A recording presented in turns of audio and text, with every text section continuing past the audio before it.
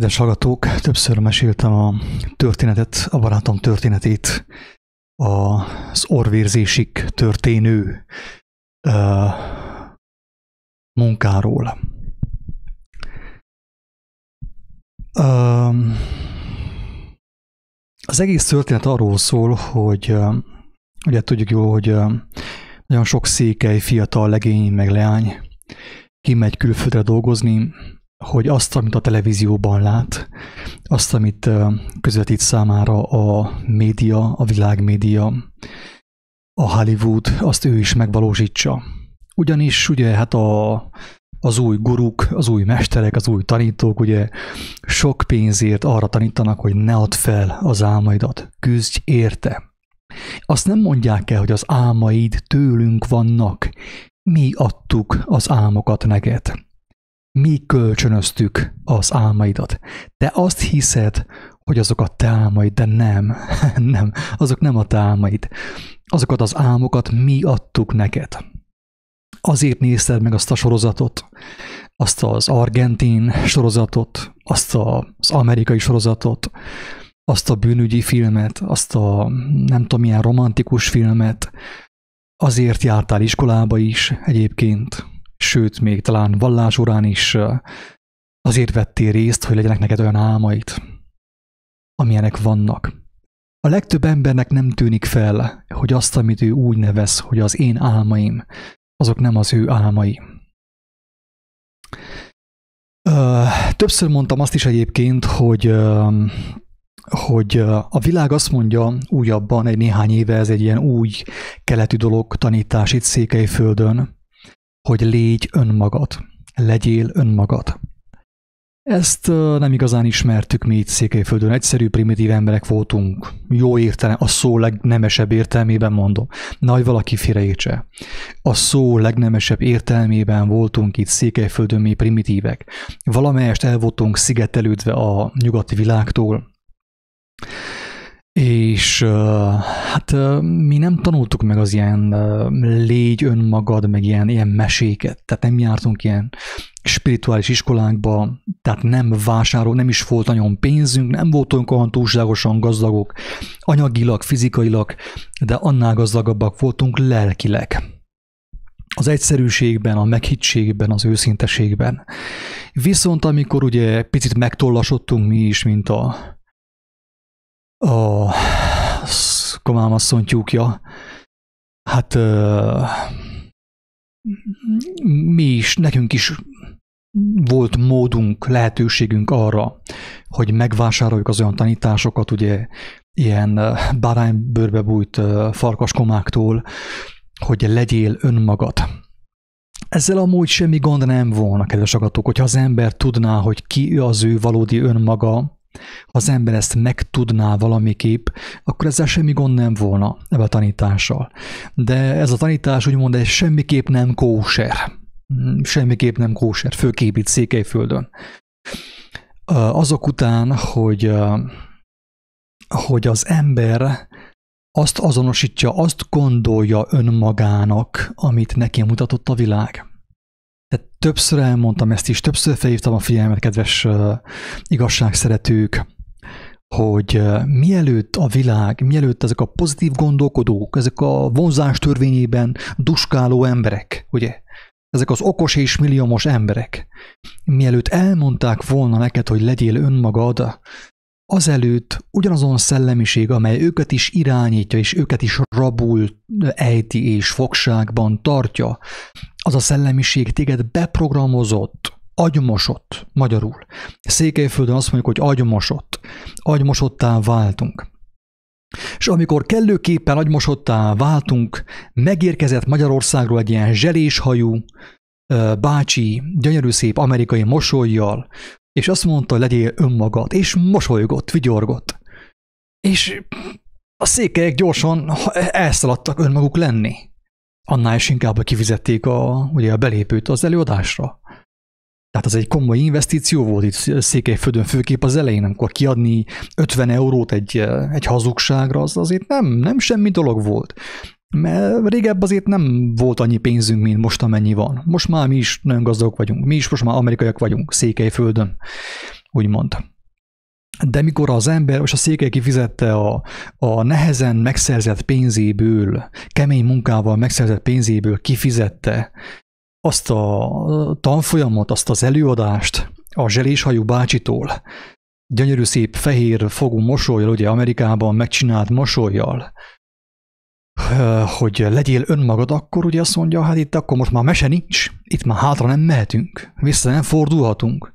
Ha már beinvestáltunk, befektettük azt az 50 eurót, azt a 100 eurót, vagy akár mennyi, nem tudom mennyi ezer forintot az előadásba, a tanfolyamba, itt, itt mese nincs, önmagunk kell legyünk.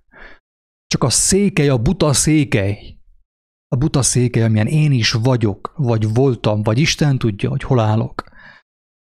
Ő nem tudta, ő nem, neki nem tűnt fel, hogy várjál, Székely bácsi, hát te, oké, okay, az rendben vagy, önmagad akarsz lenni, de mi az, hogy önmagad? De azon gondolkodtál le, hogy mi az, hogy önmagad?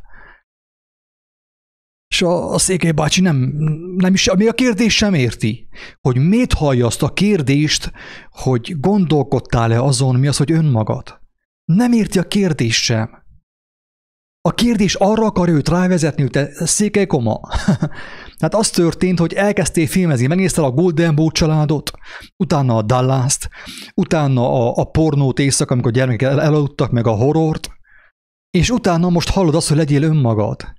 Te nem gondoltál arra, hogy amikor te önmagad akarsz lenni, akkor majd az akarsz lenni, amit te láttál, a tested lámpásával, beszoptál szó szerint, vagy bekaptál mint ahogy mondja a gyerő polgármester. Mindenki be fogja kapni. Ezt mondta. Az új polgármester. Új reménység, ugye, új polgármester, új reménység, új ígéretek. Mindenki be fogja kapni.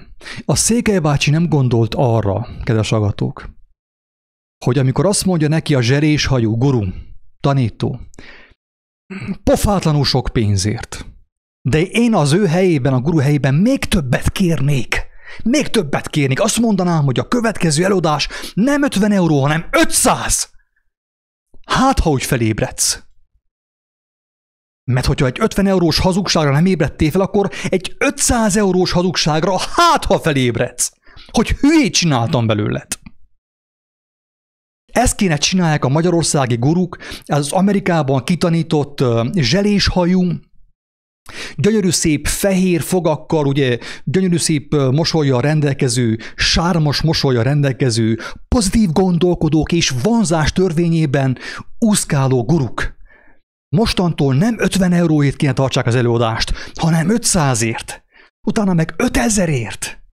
Hogy hát, ha leesik a tantusz a székelynek, hogy be van csapva hogy amikor azt mondják neki, hogy legyél önmagad, és valósíts meg az álmaidat, és harcolj az álmaidért, akkor ő nem a saját álmait, nem a saját lelkének az álmát akarja megvalósítani, hanem azt, amit ő beszopott. Szó szerint beszopott. A televízióból. A tested lámpásával, hogy mondja Jézus, a tested lámpása, a két szemet, a te szemed tiszta az egész tested, az egész életed tiszta lesz, és világos lesz. De hogyha a testednek a lámpása a hazugságra irányul, akkor beszopod a hazugságot, ami megbetegít és megöl. Lassan, de biztosan. Lassan, de biztosan. Székely Koma. Drága honfite, én is székely vagyok. Azt mondják. Gondolkodtál-e azon, hogy amikor azt mondják neked, hogy harcolj az álmaidért, valósíts meg az álmaidat, hogy legyél önmagad. Nincs olyan, hogy önmagad. Mert már óvodás korod óta programozva vagy. Mi az, hogy önmagad? Válaszol meg ezt a kérdést magadnak, hogy élhess. Ne nekem. Nekem hiába mondod. Nekem hiába bizonyítod azt, hogy te intelligens vagy. Oké, elhiszem neked. Ki az, hogy önmagad?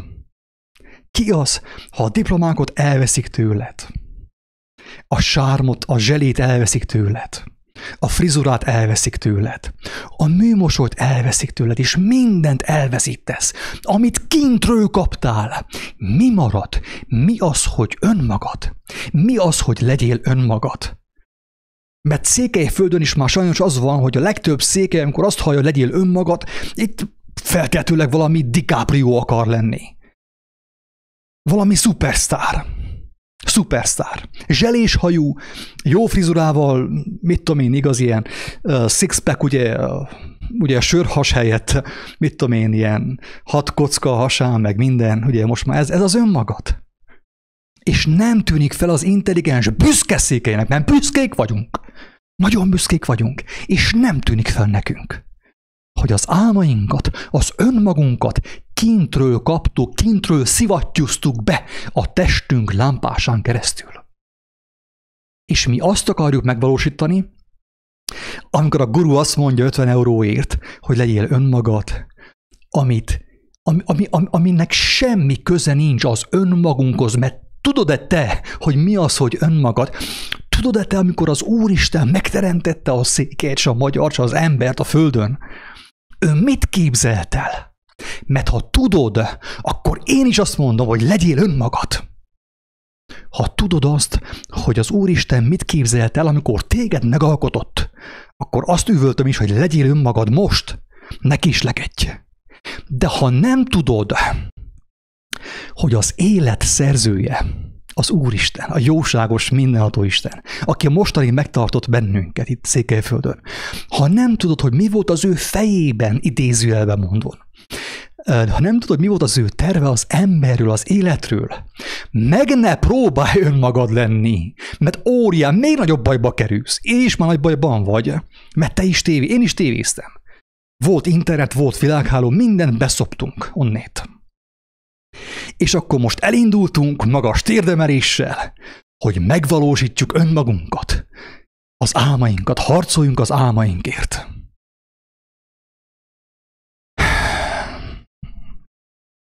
Kedves agatók, a legtöbb ember azért nem tudja, nem veszi észre, hogy téves úton van, hogy a, a, a, a veszte felé halad, mert lassan és fokozatosan tért rá a rossz útra. Először volt egy ilyen gyenge, ilyen lengyel sorozat, Romániában emlékszem, amikor, mert itt, itt még televízió sem volt, reklamáltunk ceausescu hogy nincsen televízió. Adás volt, most televízió volt, csak nem volt adás. Úgy jártunk, mint Móriczkájuk, hogy apuka, nézhetem el, bekapcsolt, most nézhetem a tévét. Nézze nyugodtan, kisfiam, de ne kapcsolt be. Na így jártunk mi Székelyföldön, hogy televíziónk volt, mert sporoltunk, na, vettünk televíziót, de nem volt adás. Tehát nem volt agymosás. És mi azt hittük, mi azt hittük, hogy az rossz. Az rossz, hogy nem volt adás. És azt hittük, hogy rossz, hogy nincsen villany. Mi ezt hittük. Ha hanem mi azt hittük, hogy rossz, hogy nincs a televízióban adás. És hogy nincsen villany. Volt gyertyafény, volt petróleumlámpa, voltak meghitt családi beszélgetések, baráti beszélgetések, kártyáztunk is, nevettünk is, kicsi pálinka is került. Kicsi zsíros kenyér is. Nem laktunk úgy jól, mint most. Nem volt akkora seggünk, mint most. És akkora hasunk sem volt. Hogy elmenjünk pisilni, és nem tudjuk, hogy mivel pisilünk. De volt gyertyafény, volt petrolomlámpa, volt meghittség Székelyföldön. Erre emlékszem én még. Tíz évig én is kommunista voltam. Miután rámadták a demokrata és kapitalista kényszerzubbonyt. Addig én is uh, kommunista voltam. Nem mint hogyha az volna a megoldás, nagy valaki félreértsen. Nem a kommunizmust propagálom hanem elmondom, hogy ez volt. Mi azt hittük, hogy mekkora tragédia és katasztrófa, hogy ott van a televízió, és nincsen benne adás. Nem volt agymosás. és a, a, a fenevadnak a hálózata sem volt annyira kifejlesztve, nem volt kábel tévé akkoriban ugye még. És nem volt internet, nem volt világháló. De volt meghittség, volt szeretet, volt szembesülés, volt, voltak viták, voltak viták Székelyföldön a kommunizmusban, de voltak bocsánatkérések is, komám. Ez az, ami most nincs. Hát miért kérnél bocsánatot bárkitől is? Hát van pénzed. Le sem szarod. ha valakit megbántottál. Így van-e? Le sem szarod. Van pénzed, de még van biztosításod is. Miért érdekelne téged, hogy valakit te megbántottál? Hogy valakivel szembesülni, valamivel is valakivel szembesülni kéne. Majd a Facebookon ott majd beszólsz neki. Majd lájkolod őt. Virtuálisan nem is mondom ki. Virtuálisan megcsókolgatod a fenekét, úgymond. És el lesz minden intézve. Kedves agatók, lehetek önmagatok. Fogjatok neki most. Tudjátok-e, hogy mi az, hogy önmagat? Tudjátok-e? Mi volt az eredeti terv, a tökéletes terv, amiben élet van? Ha nem, akkor ügyeljetek, még mielőtt neki fogtok önmagatok lenni, ügyeljetek! E bajba kerültök. Kedves hallgatók, munka orvérzésig. Munka orvérzésig. Azért nem veszi észre az ember, hogy rossz úton van, mert lassan és fokozatosan tért rá a rossz útra. Ha egyből rátették volna őt a rossz útra, akkor azt mondta volna, hogy hello, fiú, ez, én, ez engemet nem érdekel. Megyek vissza a másikra. Nem, lassan és fokozatosan tért rá. Megszokta, hozzászokott. És azt hiszi, hogy az az út, ami neki holnap elviselhetetlen testi és lelki fájdalmakat fog okozni, az az út önmaga. Azért nem tűnik fel az embernek, hogy rossz úton van, hogy elcseszte, szó szerint elcseszte. Mert lassan, de biztosan, fokozatosan cseszte el. Elnézést a csúnya, trágár szóért. Nehogy valakinek az, azért meg, megbántsam valakinek a, a mimóza lelkét, lelkecskét, szívecskét, megbántsam. Elnézést kérek érte. A legtöbb esetben, amikor, amikor teljesen a legtöbb esetben, amikor már teljesen nyilvánvalóvá válik, hogy rossz úton vagy, rossz volt az út, amelyen jártál, már késő irányt váltani. Ez a rossz hír. Halld most a rossz hírt, hát ha picit megpofolsz, lesokkos, elgondolkodsz azon, hogy még meddig, még meddig lassan, de biztosan és óvatosan mész a szakadék felé, még meddig. Na, Előbb-utóbb mindenki rá fog jönni, kedves agatók. Ezt én garantálom. Aki, aki ezt hallja, én mindenkinek garantálom, hogy előbb-utóbb mindenki tisztán fogja látni, hogy rossz úton volt. Hogy az út az milyen volt, amire ő rálépett. Előbb-utóbb mindenki fogja látni. De sajnos, amikor nyilvánvalóvá válik a legtöbb ember számára, hogy ő rossz úton volt, akkor már késő irányt váltani. Nagyon jó a példa a, az evangéliumban a két lator példá, példája, ugye, amikor ott van ugye a két lator Jézus mellett a kereszten, egyik bal felől, a másik jobb felől.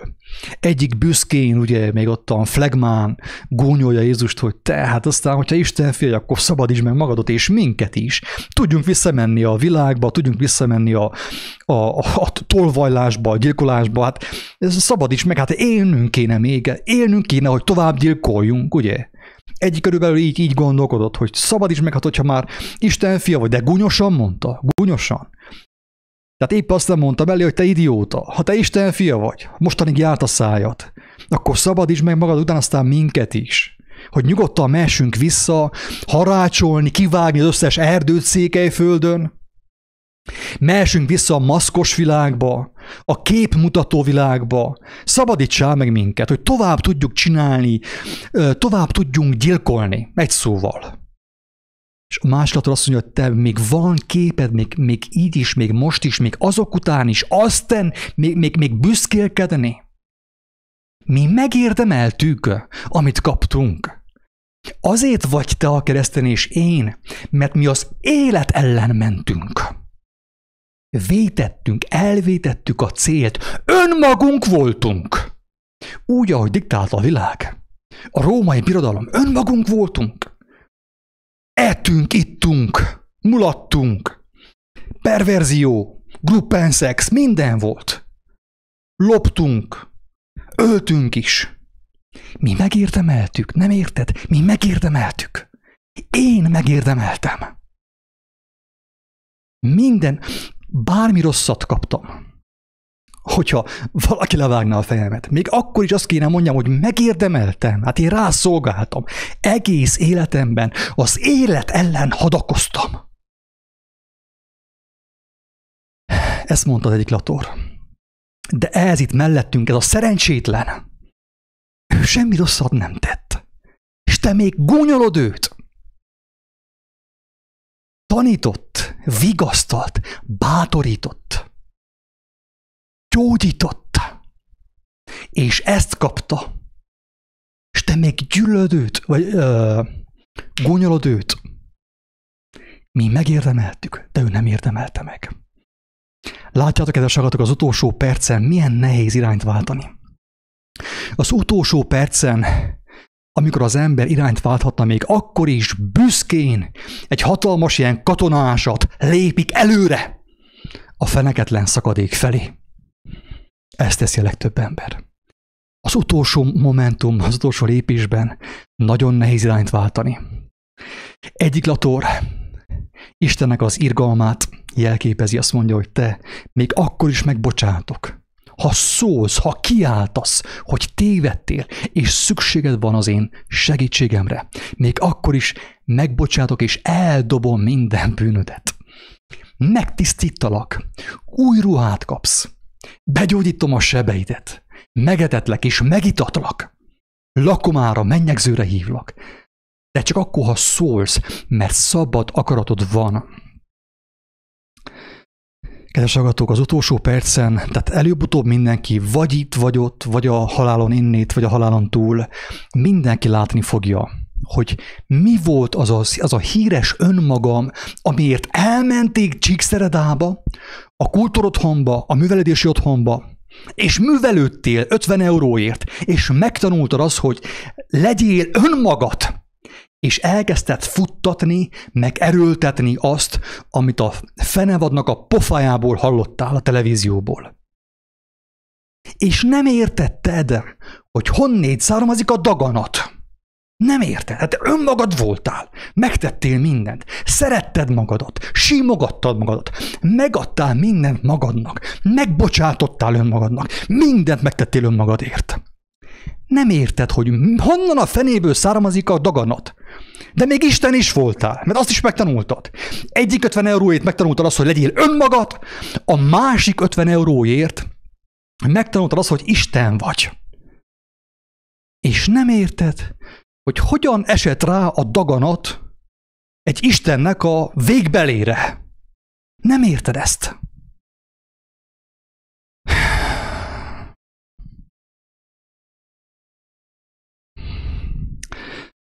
A történet arról szól, barátom története, hogy mint minden, nagyon sok más székely, még én is ugye annak idején kimentem, én is voltam, ugye kimentem önkéntes rabszolgának külföldre, nyugatra, nem Indiába mentem, önkéntes rabszolgának nem is Kínába, nem is Hongkongba, hanem Németország, meg Amerika, meg hajó, meg, meg gályarab voltam, ugye mindent csináltam, hogy, hogy, el, hogy elhitessem magammal, hogy most már én is önmagam vagyok, mert van nem tudom néhány ezer euróm. Azt csináltam, amit te. Nem vagyok jobb, mint te, nagy félreérts. Nem vagyok jobb, mint, nem vagyok intelligensebb sem, mint te. Talán annyiban különbözök tőle, talán, talán, hogy rá, Isten megmutatta nekem, hogy pff, hazudtam magamnak, mindenkinek és magamnak. Magamat sem kímélte. Becsaptam magamat és megkönyörült nekem. Megmutatta, hogy mi a valóság és mi az igazság. Talán ennyiben különbözünk, talán, de még ez sem biztos. Tehát a barátom, ő is ugye kiment, azt hiszem Németországba, vagy hova, ő önkéntes rabszolga munkájára, ugye, hogy önmaga lehessen, nem tudom, mennyi eurót szerezzen, hogy megvásárolja önmagát, az internetről megvásárolja önmagát, ugye, és a, a, a ugye a a polgártársak szemében is megvásárolja önmagát, hogy van neki nem tudom én hány ezer eurója, és nem tudom milyen autója, ugye általában ezzel a motivációval megy ki az ember önkéntes rabszolgának vissza Egyiptomba. Vissza Egyiptomba. És ő hát ugyanúgy, mint én, mert én is ezt csináltam a hajón, Én megtanultam, hogy mi az, hogy munka. Én gyermekkoromban úgy voltam nevelve a szüleim által, hogy tudjam, hogy mi az, hogy munka. Mi az, hogy kaszálás, meg akár pityókásás, meg minden, meg emelés, meg favágás, ezt így megtanultuk itten, ez, ez alap volt. Tudtuk, hogy mi az, hogy munka. De a nyugati, a, a fáraó, a németországi fáraó, meg a svájci fáraó ilyen nem látott. Az álla leesett. Amikor látta, hogy a, a székely hogyan dolgozik, azt mondja, ezt értem. De a buta székely, aki önmaga akart lenni, ő azt hitte, hogy hogyha ő, ő komolyan dolgozik és tökéletesen dolgozik is, a száz százalék helyett ad kétszázat, akkor a fáraó meg fogja cirogatni az ő buksiát. Azt mondja, hogy ígértem neked, mit tudom én, 5000 eurót adok tízet, ha nem bánod. A széke ezt gondolta. Ebben az álomvilágban élt. Tehát kiment a székely rabszolgának ugye a svájci fáraóhoz, a német fáraóhoz, az amerikai fáraóhoz, és azt várta, hogy a fáraó ott cigánkerekezni fog örömében, hogy a székely milyen jól dolgozik, és minden pénzét majd rá fogja költeni az ő önmagára. A széke, hogy, hogy felépítse a székelynek az önmagát, ugye? De nem ez történt. Amikor látta a fáraó, hogy ez a széke hogyan dolgozik, azt mondja, hogy te vajon ebből még, még lehetne-e többet, még többet kisajtolni? Lehetséges volna-e? És próbálta így, így feszegette a hurokot, hogy na hát ma dolgoztál 10 órát, akkor hónap nem lehetne 11-et, és hónap után 12-t, utána meg 13-at. A széke azt mondja, persze, hogy lehetséges. Hát önmagam akarok lenni, de hogy ne dolgoznék? 25-öt a 24-ből. Ha, ha egy mód van rá. És dolgozott a székely. Ez lehet, hogy magadra ismersz te is. Isten tudja. Bárcsak ismernél magadra. Dolgozott jó sokat, hogy megvalósítsa önmagát, amiről beszélt neki a zselésfejű guru, Csíkszeredában, a, a kultúrotthonban. És úgy járt a barátom szó szerint, hogy amikor befejezte a munkát este, nem is tudta, hogy van értelme lefeküdni. Hát mindjárt kell kezdeni előről a munkát. Ömlött az orrából a vér. Ömlött az orrából a vér. Tehát minden nap orvérzésig dolgozott a fáraónak akinek eszágába se volt részt venni az ő álmának a megvalósításában, hogy legyen ő önmaga. Azt mondta, hogy nem kapsz többet, de viszont munkát azt igen. És még ez is kegyelem. Hangsúlyozom, kedves székelyek, ez is kegyelem. Hogy a fáraó téged kihasznált, még az is kegyelem, mert különben sosem ébredsz fel. A fáraó jól tette, amit tett. Jól tette. Szükséges volt, amit ő tett, a munkaadót, mert különben nem ébredsz fel. Így legalább esélyt kaptál arra, hogy felébredjél.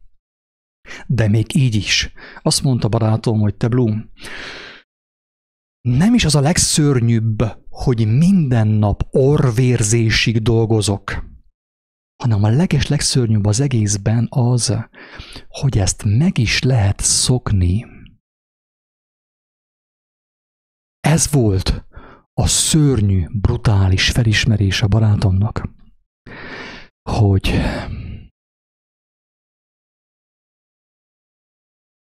nem csupán odaadta az egész életét, idejét, lelkét, fizikai erejét a földnek, a földieknek, a mammonnak, a pénznek, az önmagának, és ömlött az orrából a vér, tehát ugye, amikor a folyik a vér az emberből, az mit jelent? A vérfolyás asszony. Mit jelent? A vérben van a lélek az írás szerint. Én nem értek annyira Isten tervéhez. Valamennyire úgy értegetem, amit én meg, megláthattam Isten kegyeleméből. De ha a másképp nem is szimbolikusan, ha másképp nem is, szimbolikusan. A lélek, a, a, a vér hordozza az embernek a lelkét. Amíg van vérkeringés, amíg az emberben van vér és vérkeringés, addig ő él. A vérben van a lélek. Mit jelent szimbolikusan az, hogy ömlik valahonnét neked a vér? A lábad közül ugye a nőknek, meg visszaéltek a nőiességükkel, és a férfiaknak meg az orrukból, vagy a füle, fülükből, mert nem hallották meg az élet hívó szavát. Nem értik. Ömlik ki a lélek rajtuk. folyik el a lélek, folyik ki a testükből a lélek, folyik bele a földbe. Ez történik a férfiakkal. Azt mondja a barátom, hogy nem az a legszörnyűbb, hogy orvérzésig a lelkemet beleölöm az egész életemet ebbe a munkába, hanem a legszörnyűbb az, hogy meg is lehet szokni.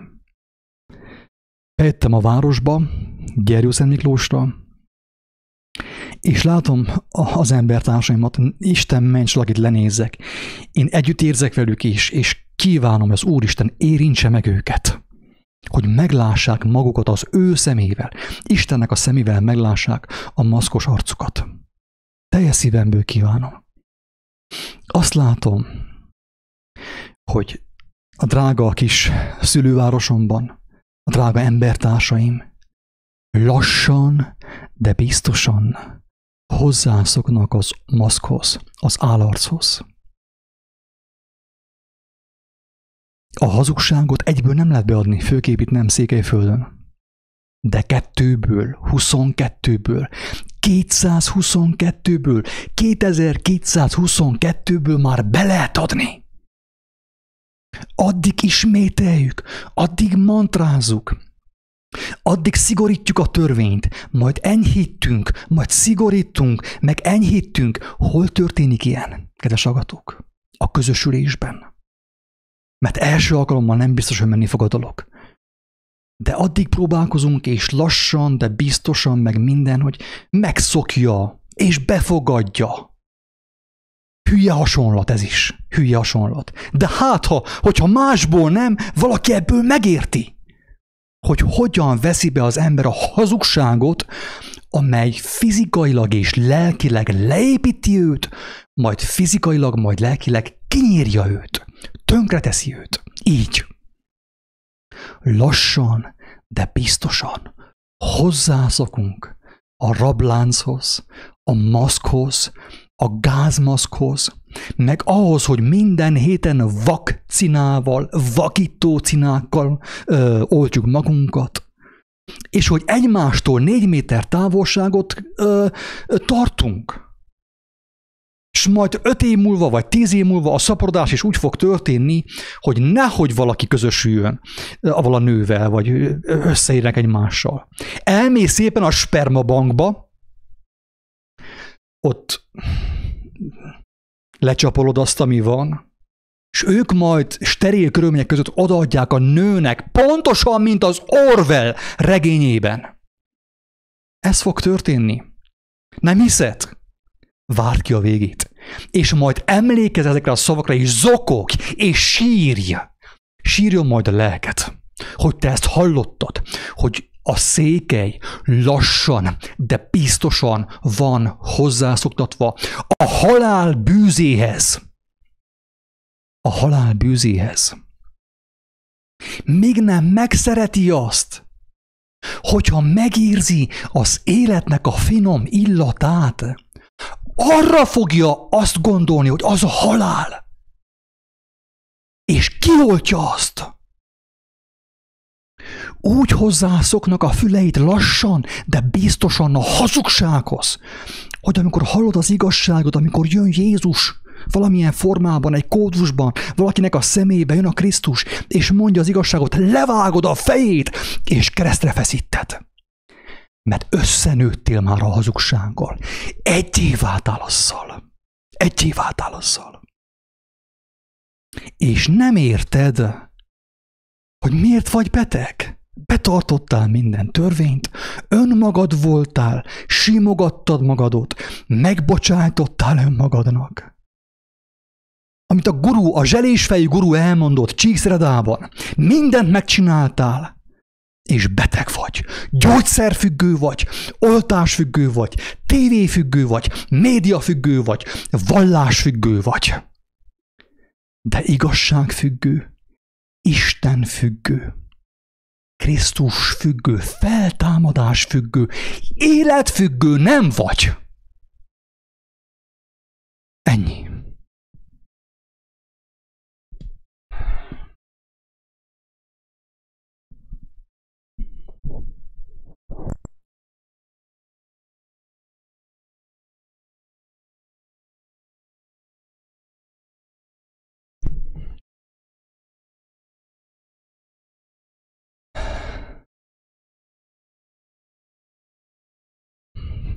Kedves Valérja, Isten ments, nekem igazam legyen, nekem nincs igazam. Ha bármi igazat szólok, az nem tőlem származik, nem önmagamból származik.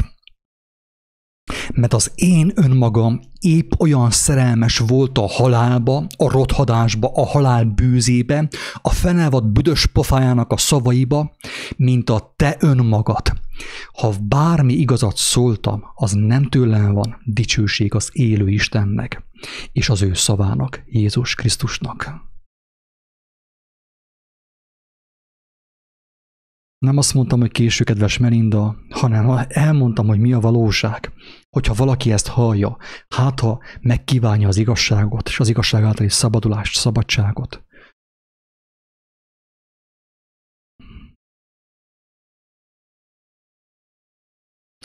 Györgyi Juhász, kedves Attila, az úr kegyelmébe világosságot kaptam, tévét nem nézünk, sok próbán mentem keresztül, de soha nem siránkoztam. Az erőt a mindenható Istentől kaptam, köszönöm Istennek a hatalmas irgalmát, hogy olyan úton járhatok, amin járnom kell, és az útjelzőket, amit megmutatott nekem. Áldjon az Úr, és adjon békességet és megértést mindenkinek, kedves Györgyi.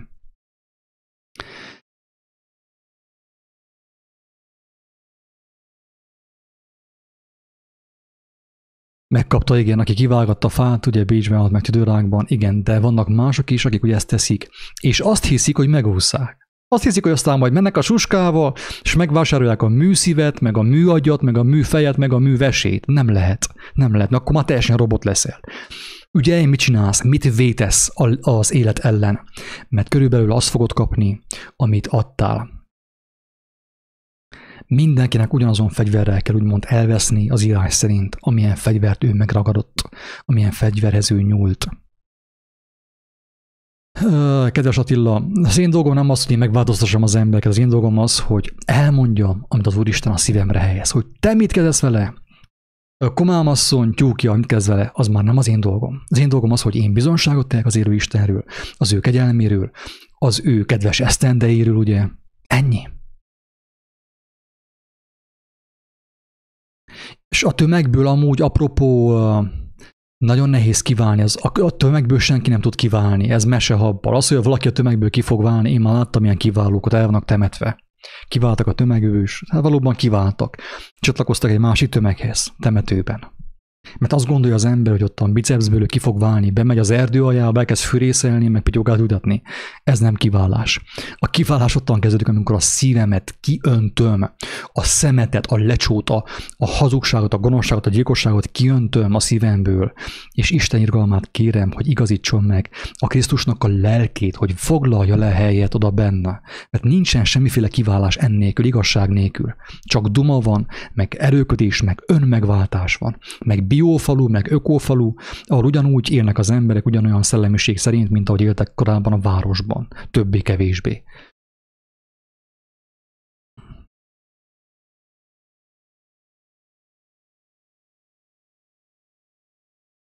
Hát hallod, kedves Vilmos, én nem tudom, hogy Skita vagy Nimrod, én nem úgy fogalmazom, hogy Skita, én nem a Skitától kaptam azt, amit kaptam, és nem is Nimrodtól, nem is ismerem őt.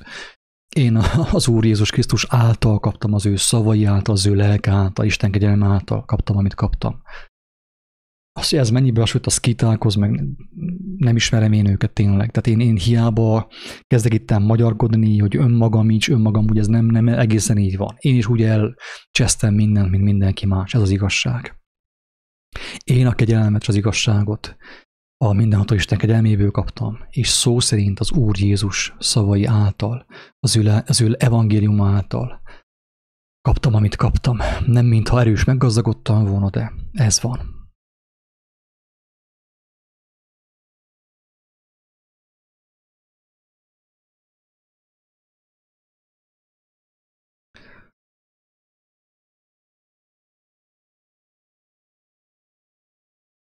Áldás mindenkinek, Géza, mindenkinek, nektek is.